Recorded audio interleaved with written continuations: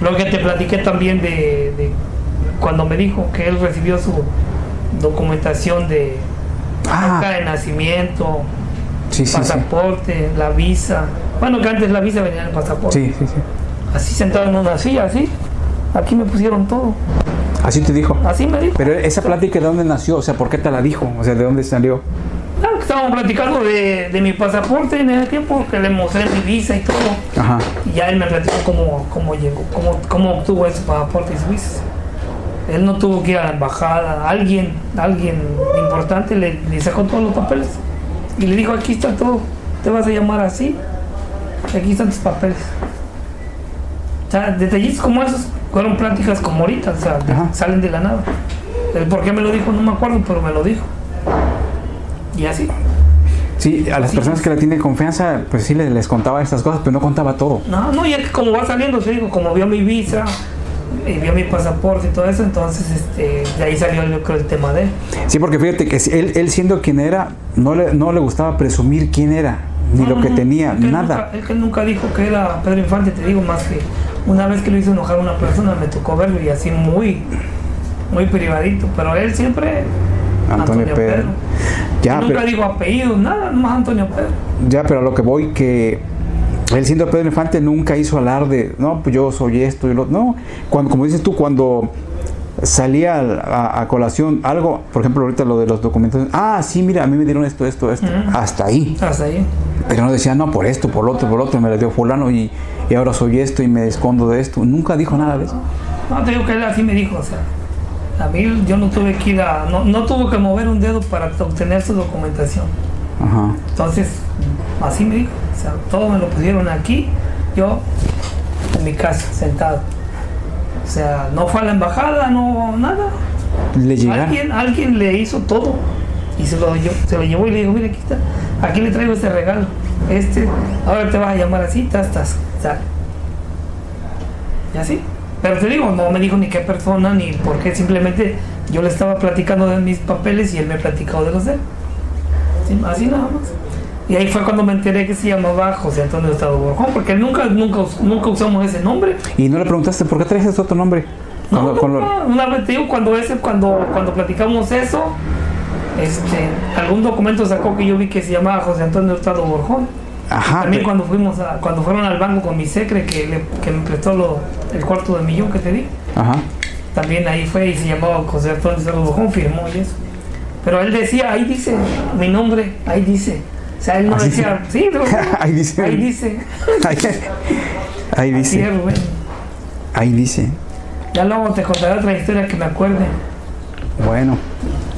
Bueno, mira, ya, ya para terminar el- este video que está muy... Nos podemos tardar mucho, mucho tiempo, pero eres una persona muy ocupada. ¿Qué opinas de la familia de Pedro? La familia Infante. ¿Qué nombre? Algo, algo... Nombre, Cruz. Cruz Infante, por ejemplo. Cruz Infante. Algo te contó de él. No, pues la única vez que, me, que hubo una- un tema de Cruz Infante fue que dijo, como enojado, que Cruz no era ni Cruz, no era ni Infante, que era un moniguillo armado por la televisión. Y yo la verdad desde ese tiempo me puse a pensar de la vida de Cruz Infante de niño a grande, o sea, no, no, no hay, no hay un camino que yo sepa. Tal vez le- me, me quedó la duda, pero así dijo. O sea, no es ni Cruz ni Infante, es un moniguillo armado por la televisión. Así lo dijo. Así lo dijo. Palabras de Antonio Pedro. Sí, directamente. Es que tampoco nunca llevó el apellido. Todos los hijos que se dicen ser de Cruz Infante o de Suárez Casaña se apellidaba él. Ah. Este Entonces yo creo Pedro que sí es Suárez. cierto, ¿no? De que, Es que no realmente legalmente no lleva el apellido. Ah, no, entonces sí es cierto que lo armaron en la televisión. Sí. O sea, don Pedro me dijo a mí, le vieron parecido y lo, lo acomodaron, lo hicieron cantar como Pedro Infante y lo... Pero pues no era ni Cruz ni Pedro Infante. Porque incluso hasta- de él, ¿eh? Claro, eh, incluso hasta Irma Dorantes en alguna ocasión o no recuerdo dónde o quién decían que también o Lupita eh, Torrentera dijo que que podía ser hijo de Pepe y que le, se la, muchos hijos que regados eran de Pepe y se los achacaban a Pedro. Porque si de que se parecía, se parecía. Sí, pero te digo, le encontraron parecido y lo, lo, armaron. O sea, a según a lo que él me dijo. Sí, y, y con el apoyo de, de Ángel y Pepe. Pues mira, ahí está. Mm. Pues sí, es, interesante que lo haya dicho él, o sea, no son palabras Sí, tuyas, sí, no, no, no pasa nada. mías, porque yo la verdad no.